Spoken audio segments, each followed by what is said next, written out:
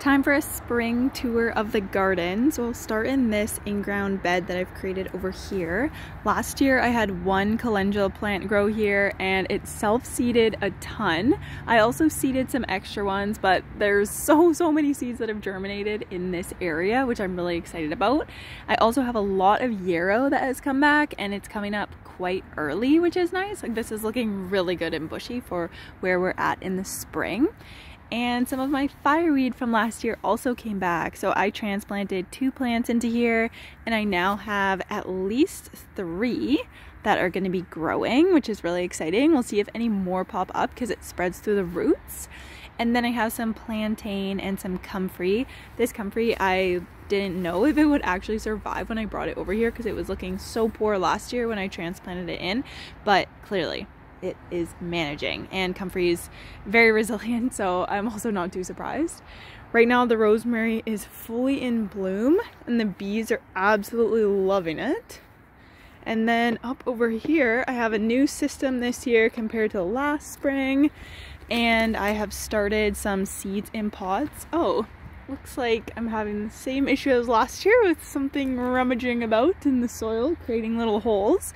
But I decided to start some seeds in pots because last year in that bed over there I really struggled with a lot of slugs. It hasn't been as bad this year. We've had a less wet spring, which I think has helped with the slugs. And so I haven't really noticed slug damage the same way. So I just am running some different experiments, the different soils that I have. Some of my plants have like really dried out already or just lacking some nutrients. So some of them are kind of like slowly slowly coming up i'm trying to remind myself to be patient because some things like lavender and skullcap they're perennials versus calendula and bachelor button which are annuals. So the annuals are going to come up a lot faster. So i try to remind myself to be patient. Um, same over here. It's really interesting like some snap peas have already planted out and i have a ton growing over there. But then the blue kidney beans are just coming up. The pole beans are just coming up. The turtle beans are kind of in between. So it's always very interesting seeing what's coming up. I also have some new flower seeds that I've never grown before that I'm growing this year. The basil and the lemon balm are just starting to come up. I also had basil here last year and you can see the basil is now starting to pop up as well. And then here's all these peas. I saved all these peas. Um, I think the year before last and so I just planted a whole bunch and it's going really well. I'm trying a new trellising system here and I just put this string out yesterday and look we have a pea that's attached. Very exciting. There's one over there that's attached as well so hopefully this is low enough for most of them and that they all kind of reach up to this. Right now I'm very thankful that one of my kales survived the winter because this is one of the few things that I have flowering in my garden right now. And so I'm just leaving this here. I'm gonna let it flower, I'm gonna let it go to seed, save the seeds, and even though I'm not eating from this kale plant anymore because it's a little more bitter now that it's gone to flower, it's still so important for my garden because I want the pollinators to know to come check out my garden now while the rest of the things are still working on their blooms. Um, over here, we have the peppermint. The peppermint expanded a ton in one year last year. I did a really heavy cut back and it's looking like it's not loving how much I cut back there. So we'll see how that goes. Um, but I just wanted to cut it back so that it would produce a bunch of new growth that makes it bushier. I also did that with the oregano over there and I think I did a bit better job not going as aggressively on that one. We had a lot of the strawberries in this bed over here die compared to this bed, which is full of strawberries. Um, but we do still have some coming up. I also have some little seeds, like I think I have straw flower and even calendula little seeds coming up over there that I had just kind of tossed in. I also have some little radishes coming up here.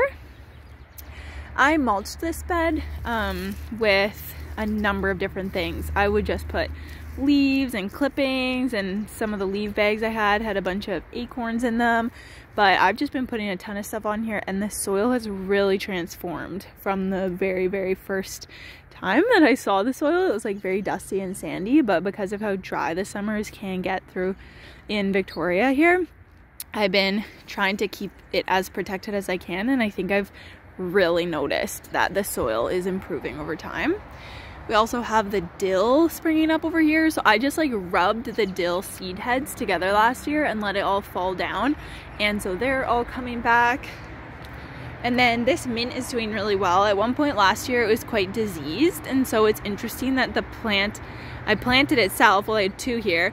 They aren't as strong as some of these runners are. Like, look at how far that one got. That seems really crazy to me. I know mint is a spreader, but that in one season, that's pretty insane. Um, and then we have a bunch of chives. I've been trying to pluck the flowers off this one and let this one go to flower and then this one not. But I have so many chives in my freezer right now that I didn't even eat from last year. So I'm not being too picky about my harvesting on this one. And then our sage and oregano is doing really well. I've already harvested some of both of these.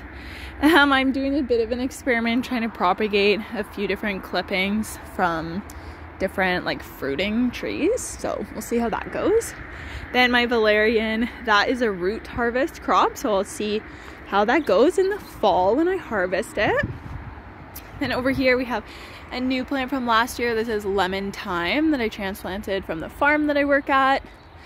Oh, I didn't do a very good job breaking this up because I really should have like made this a lot finer, but this is actually coal from a campfire that I had earlier this spring. And so I've put it in the garden because little microbes like to live inside of here the same way that like bees and bugs and that need holes kind of more about this size to live in having some little homes for the microbes is important in your soil too.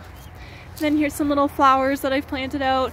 Something does like to dig around in here. I really don't know exactly what it is, but that's okay. um, and then some other little flowers that I've just kind of popped in here just to kind of see how things go. I don't know why that's happening. it's kind of sad. Something's just coming in and ripping them out. And then the strawberries are doing really well. Those are looking quite good. I forgot to mention, now I have green onion in addition to the chive. Then the blueberry plants are here. They are all um, blooming and they, I can't tell if they're starting to bud up. No, these guys are just having some flowers coming up. And then our flax, oh my gosh, something like really went through here. this happens every year, but gotta have an abundance for you and the animals apparently. Guess I didn't learn my lesson well enough last season. But this is how things are going. I feel really pleased with the perennials that have done really well and stayed over um, from last year. And then a number of annual things that I'm starting I feel excited about. I might even start a few more things, but this looks pretty good, especially this bed. It's nice and full. This one still has a lot of space to work with. So I'm gonna see how these things grow. Um, but then later in the season, I might start adding a few more things, like a few more veggies. At some point I wanna add potatoes. So we'll see what we can find room for. But this is the spring update of spring 2024 in this backyard garden.